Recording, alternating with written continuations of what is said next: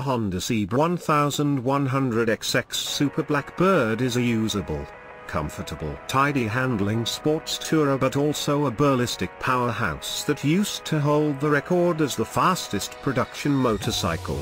The Honda CBR1100XX Super Blackbird is sensible and utterly insane in one nicely presented Honda package.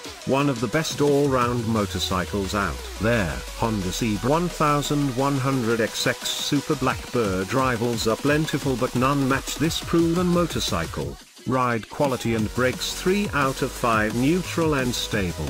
But there's no getting away from the fact the Honda CBR1100XX Super Blackbird weighs 223 kilograms. The latest sports bikes come in under 170 kilograms so on tight roads the Honda CBR1100XX Super Blackbird may get left behind a little, front and rear brakes are linked.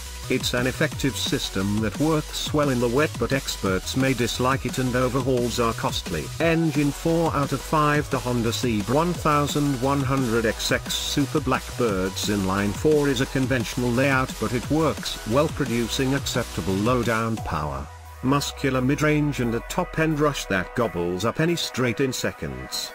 Twin balance shafts mean it's so smooth it can be rigid mounted making the Honda CBR1100XX